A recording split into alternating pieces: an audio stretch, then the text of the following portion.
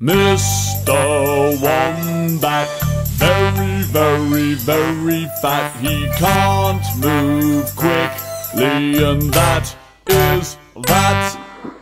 When he runs, he's very, very funny, and he can't move quickly, and that is